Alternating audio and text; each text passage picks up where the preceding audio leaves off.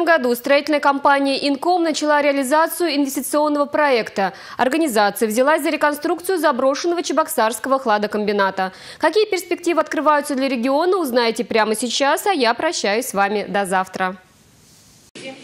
Депутат Госдумы Анатолий Аксаков во время очередного визита в Чувашу уделил внимание новому инвестиционному проекту стройцентра «Инком». Компания занимается торговлей строительно-отделочными материалами более 20 лет. Все для стройки и ремонта в одном месте. Дизайн-студия и индивидуальное сопровождение клиентов – ключевые особенности предприятия. Инком стал крупным инвестором в экономику региона, реализуя новые проекты и создавая более 350 рабочих мест. У нас есть такие бизнесы, которые успешно работают, развиваются, устремлены в будущее, готовы инвестировать дальше в нашу республику, свой бизнес. А этот бизнес направлен на удовлетворение интересов людей.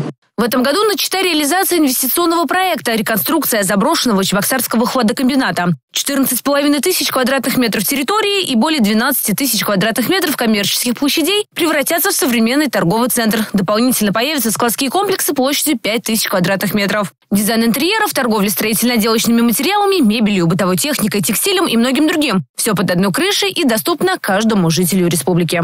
Такая устремленность Инкома мне очень нравится. Я считаю, что абсолютно правильно. Они на верном пути. Инком собирается вкладывать именно в нашу республику, в город Чебоксары.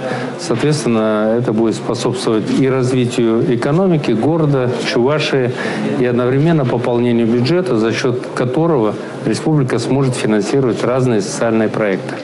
Анатолий Аксаков отметил, власти создают все условия для развития бизнеса. Программ достаточно много, в них надо просто участвовать, заявляться. И э, республика точно будет очень серьезно поддерживать тех, кто инвестирует э, в экономику нашей родной Чувашии.